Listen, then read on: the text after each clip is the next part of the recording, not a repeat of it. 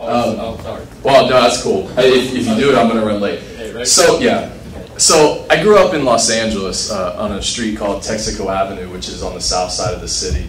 Uh, Texaco Avenue actually comes off a more infamous south side street called Compton Avenue on uh, Compton's east side. And so I grew up in a little bit of a sketchy neighborhood of, of Los Angeles.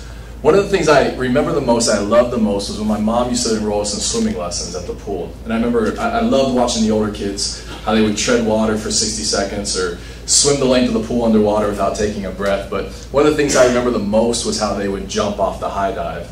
And uh, being a seven-year-old boy watching that, just amazed. And I don't know if it was the height of the dive or the way they, they just jumped off without regard for it. But as a seven-year-old boy, I knew, man, I had to do that. And so when the day came when I finally climbed up to the top and inched my way out, I kind of had this strange thing happen to me. And psychologists have a term for, term for it called rapid cognition. It's when everything around you kind of slows down and the, the periphery blurs and your senses heighten. And I remember standing there with my heart beating fast and kind of looking over the edge and seeing the, the wind blow ripples across the water and just going, wow, it's almost like the, the world stood still. There's an expression in mathematics uh, for a logistical function. It's called a sigmoid curve.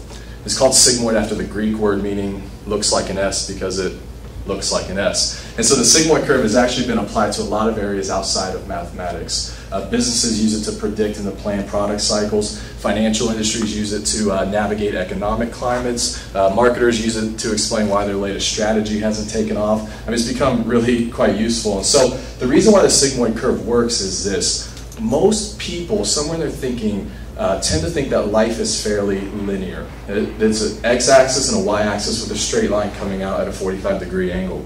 One input equals one output, two inputs equals two outputs, and etc. The fact is that that's simply not the case. And uh, the second law of thermodynamics states that everything tends towards entropy or disorder. And so the natural state of the universe is one of disorder or chaos. And so we've come to have these chaos theories that help explain why one doesn't equal one, but one input equals a quarter of an output, or, or three inputs equals 18 outputs. And so the S curve comes along to help make uh, sense of all this. Now, the way the S curve works is the initial phase is a building or a base phase. It's uh, uh, market saturation. Growth here isn't quite uh, linear and it's oftentimes slow. And then there's a growth phase. It's hyperbolic, it's exponential, it's gaining market share. Uh, followed by a peak, um, big business, industry leader, market dominance, and then finally a plateau and a peak and a, and a decline. A peak, plateau, and a decline of the curve. The innovation can't support the curve anymore. Now, what's cool about the S curve is it's the story of Google, it's the story of Apple, it's the story of the American economy, it's the story of the American automotive industry, it's the story of the Greek Empire, the Roman Empire. It's really a picture of change, and there's two points to it. Change brings about growth, increase, profit, but eventually that change peaks, plateaus, and begins to decline. Now, the beauty of the S curve is this. The secret to constant growth is you have to create a new curve before the first one peaks and plateaus. And so, somewhat counterintuitive, and right before the peak of the curve, you have to make a decision to leave the cycle and start something new. Now, it's somewhat counterintuitive because all the, the, the signs at point A is it's, it's good, we're growing, things are great, why change, why mess this up? But you've decided to leave the cycle because you've decided to leave what's working to take a chance on what you believe is the future. And so it creates this kind of a hollow space that we technically refer to as funky land. And uh, it's just because there's a lot of questions there. I mean, you've left what was working to take a chance on what you believe is the future. And so, real success for your organization, for your company, for you personally, comes when you can begin to sling a bunch of these S curves together.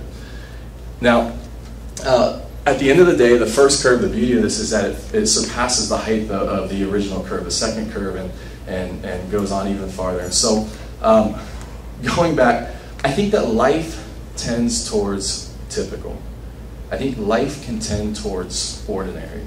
I think at the end of the day, uh, I don't want to be the one always hoping, always wishing, always thinking, always envisioning. I want to be the one that's pushing, growing, changing, stretching.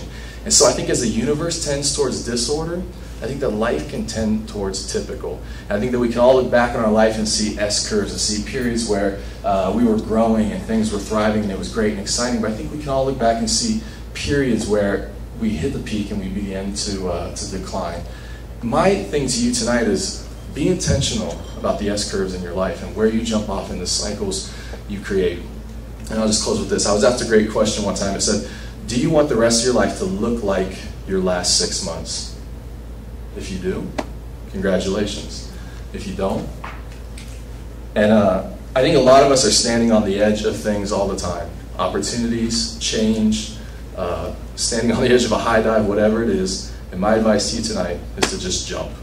Thanks. Thanks.